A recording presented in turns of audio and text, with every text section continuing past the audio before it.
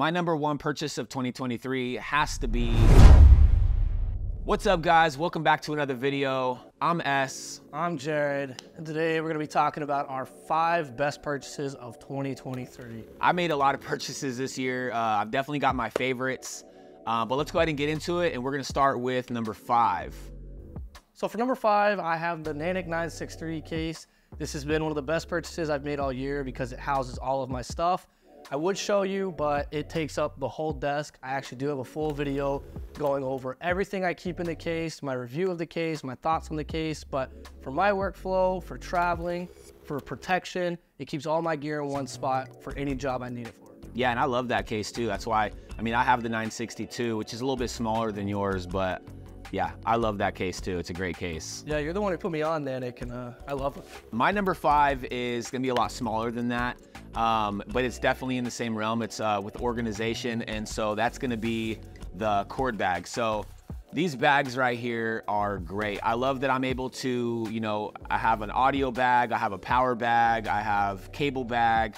Um, this has really helped keep everything organized inside my Nanuk case and I absolutely love them. So that's it for number five. So let's go ahead and move on to number four.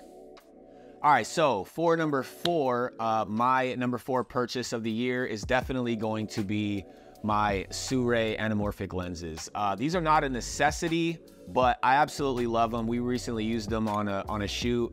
Um, it's definitely like something that'll be a, a, little bit more creative, but I love these lenses, and I, I I I've been so used to like shooting on like still lenses um, I've always been afraid to do like manual focus. And so I think this is definitely gonna help me, even though it's anamorphic, it's gonna help me take that next step into actually getting some, some cinema glass.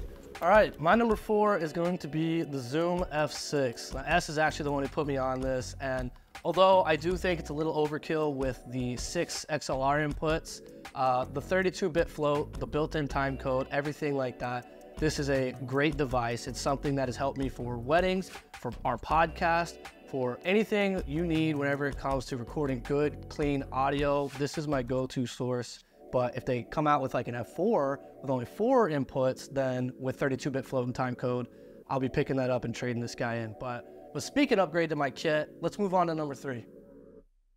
So my number three purchase for 2023 is the Aputure 600X. This thing is a beast. Uh, before this, my entire kit composed of a 200X and a 60X, and it just wasn't enough power. So moving into this allows me to have more versatility with all my lighting setups, and it's something that I definitely will never regret purchasing. Yeah, it's a solid light, man. I love the 600X. I have it as well. It might be on my list. I don't know. We'll have to see. If it's in my list. uh, but for my number three, um, it's definitely going to be the Rode NTG 3B. Like this was a major upgrade. I didn't even know how much of an upgrade it was because before this one I had the Rode NTG 2 and I thought that mic was great. I had it for so many years, um, but I had to purchase another mic to be able to boom two people. And when I got this, I heard the difference between the NTG3 and the NTG2, and it is a huge difference. And I absolutely love this mic. And that is why it's my number three. Um, but let's go ahead and move on to our number two.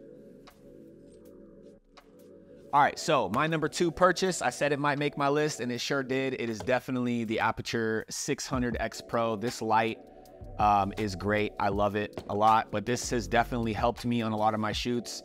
Um, I had a shoot where I had to, you know, I was shooting outside of a window to get the the um, the skyline of Dallas, and I didn't have enough input. Um, and this has definitely um, been a major upgrade, and I love it. So my number two is actually the Tamron 35, the 150 f2 to 2.8.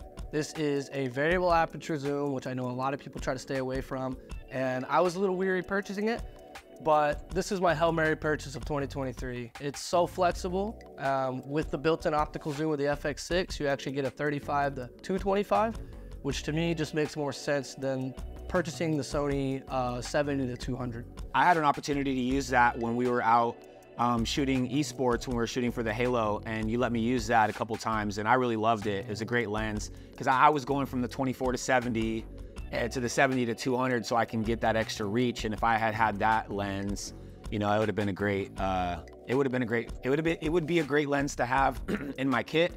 Um, we'll have to see about, we'll have to see for next year in 2024. I definitely recommend it to anybody who can make the purchase decision on that one. But let's move on to our number one, the one everybody's waiting on, and uh, I'm gonna let S take it away. All right, so my number one purchase of 2023 has to be the FX3. Um, I really love this camera a lot. I went from the A7S III to the FX3, and even though those cameras are very similar, the FX3 is definitely a step up, um, and I absolutely love it. Um, I, am shooting with it right now, so I don't have it to throw on the on the on the table.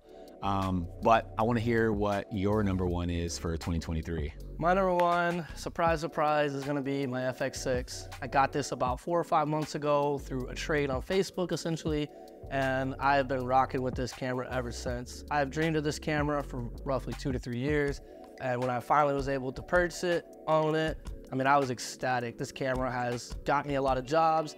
It's created some beautiful imagery, and yeah, it's just something I think is amazing. But that's it. That's our five best purchases of 2023. Uh, if you want to see more, you know, make sure you subscribe to the club, like the video, leave a comment below what you want to see, and uh, we'll catch you in the next one. Thanks for watching, guys.